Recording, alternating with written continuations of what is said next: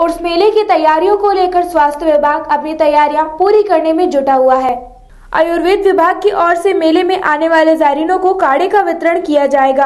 इससे पहले आज उनका परीक्षण किया गया और जिला कलेक्ट्रेट में काढ़े का वितरण कर लोगों को इसके प्रति प्रेरित भी किया गया।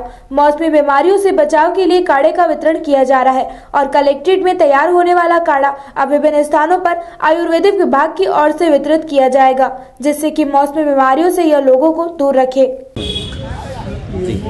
आ, मैं राजकीय जिला आयुर्वेद चिकित्सालय लौंगिया से एसएमओ की हैसियत से यहाँ पर क्वाथ वितरण किया जाना है।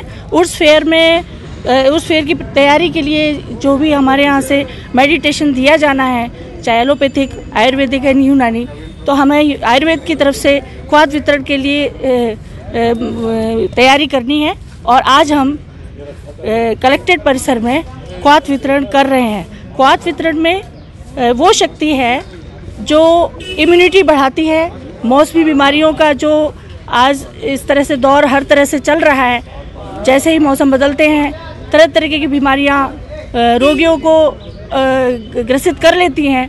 उसके लिए आयुर्वेद, जो कि एक नेचुरल चिकित्सा पद्धति है, आयु की चिकित्सा है, बीमारी होए नहीं। खांसी, जुकाम, सर्दी, मलेरिया, इसकी रोकथाम के लिए हमारे यहाँ ताज़ी ही काढ़ा बढ़ाया गया है। इसमें बहुत सारी जड़ी बूटियाँ हैं। जो कि रोग प्रतिरोधक क्षमता बढ़ाती हैं और मौसमी बीमारियों को रोकती हैं।